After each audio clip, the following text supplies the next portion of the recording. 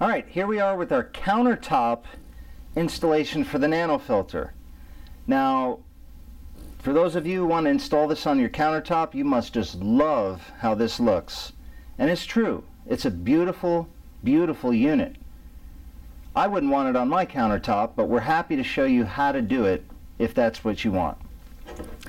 It will not come with the parts that you need to get this install done. So when you're ordering the Nano or if you've received it already and you've chosen to install it on the countertop, give us a call. We'll send you one of these. This is a faucet diverter. And basically what you do is you go to your faucet and you screw the tip off. There's a million types of faucets out there, and I don't know that your faucet's going to look anything like this. But no matter what, it's going to have a piece that screws off. It might be down inside the faucet that you have to look up under and get a pliers to pull it off. One thing you don't want to do is put a pliers like this on a chrome finish like this because all you're going to do is scratch and damage it. So if you can't get it off by hand, what I recommend is you get yourself a washcloth or a rag, something like this, put it around the piece, and then clamp your pliers and loosen it a little bit to where you can loosen it by hand. When you get the faucet diverter, you'll notice that there's a ring installed on the top. This is for if you remove your cap and the threads in the end of your faucet are female. In this case, ours are male, so we want to remove this inner ring, take it out, set it to the side, and again, don't ever throw any extra parts out for anything that comes from us. Always put them in a Ziploc baggie and keep them for future use. You'll also notice there's a rubber ring on this handle here. This rubber ring is if you were using this insert, it would go on the top of the insert and then up into your faucet. Again, that's a part you're going to want to save. So you'll just take this adapter, screw it right onto the threads,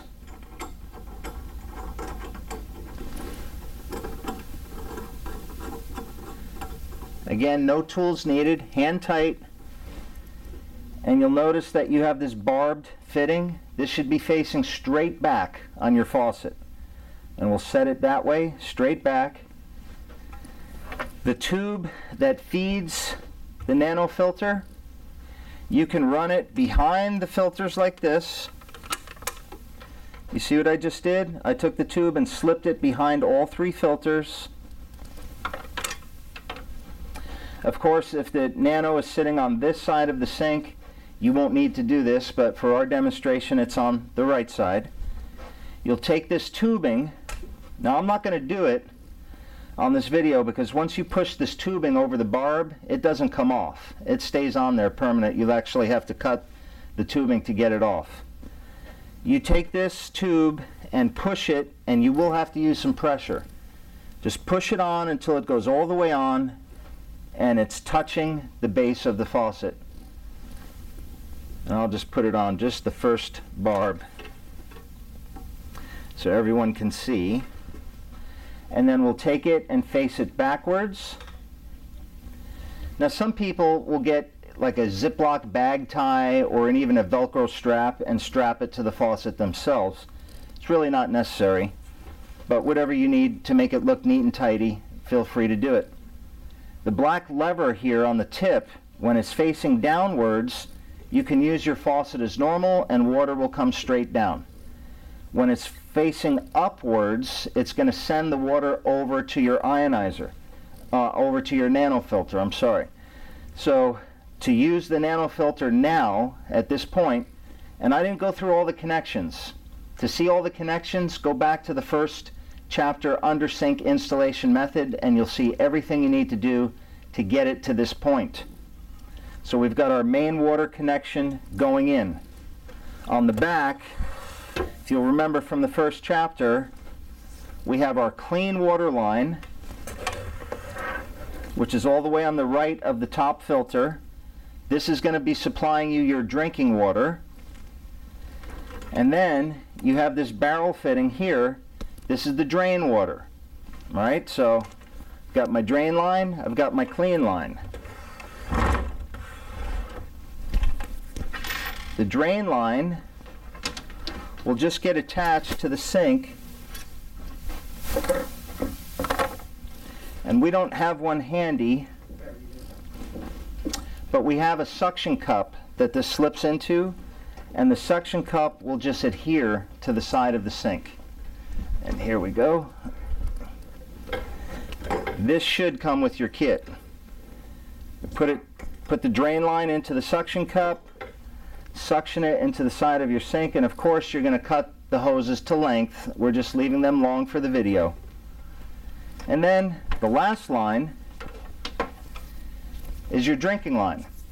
Now, since it's on the countertop, this drinking line can feed an ionizer, so this can go straight over to the ionizer.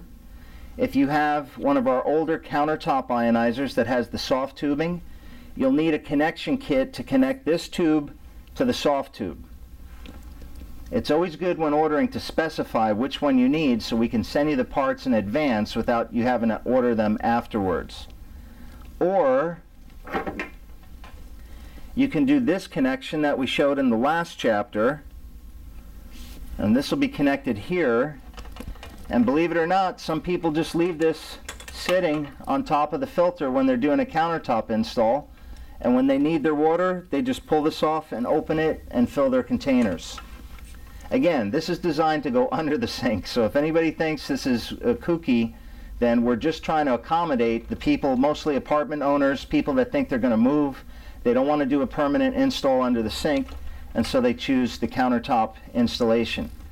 It's a lot simpler when this is connected into an ionizer because then the ionizer can just run right off of there. So again, to turn this on and to have it running, you'd open your cold here. Make sure the lever is sideways here. It will send pressure to this line and if this line is connected to a faucet then you also need to open this faucet. The water will not turn on until you open this faucet. That's pretty much it for the countertop installation of the Nano. Now let's on let's move on to the next chapter.